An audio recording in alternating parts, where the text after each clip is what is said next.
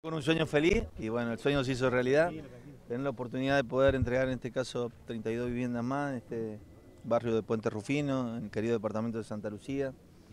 Eh, bueno, acá nos acompaña el intendente, por supuesto, a quien le agradecemos también eh, en el día de hoy que nos haya recibido.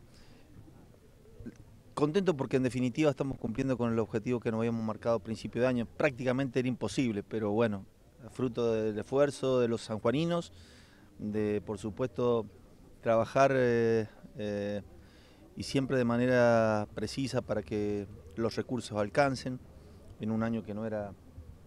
el más óptimo, digamos, habida cuenta de la profunda crisis que, vive la Argentina y que por supuesto estamos saliendo, pero,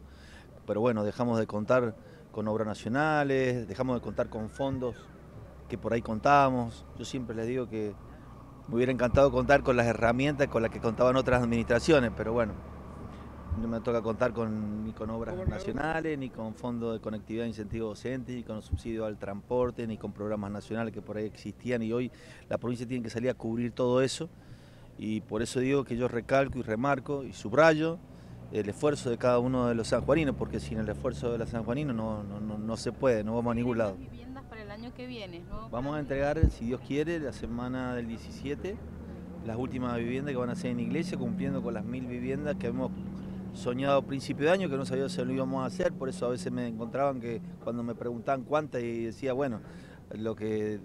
lo que podamos, pero le vamos a poner todo el empuje porque la obra pública es fundamental para el bienestar